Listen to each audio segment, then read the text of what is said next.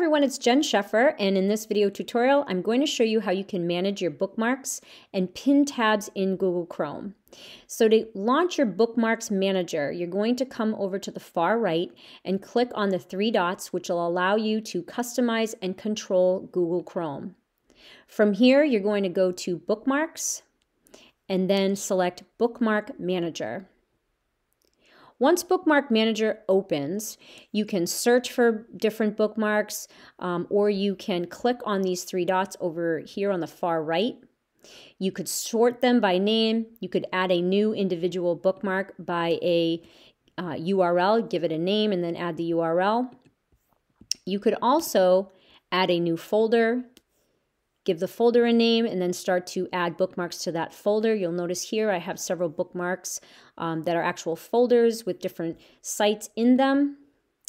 Um, the next thing I want to point out to you is that you can click on an individual bookmark, and if you hold down the Shift key, you can select a group of bookmarks at once and you can delete them at once. So I have eight bookmarks selected. I'm going to hit delete. They're all deleted at once. So that's a quick, helpful tip on deleting multiple bookmarks at once. If you wanted to delete just an individual bookmark, you could click on those three dots here.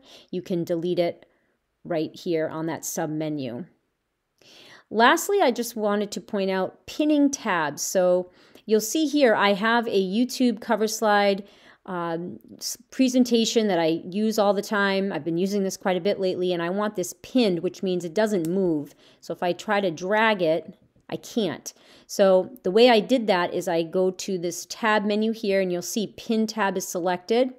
And if I want to deselect that and I want to be able to now move this, I can. So I'll just show that to you one more time say every morning, I know I'm going to need my um, YouTube cover slides and I, I want this to always be accessible to me. I never want it to move. So for you, it could be your virtual classroom or Seesaw or whatever site you're always using. You, want, you don't want that tab to move.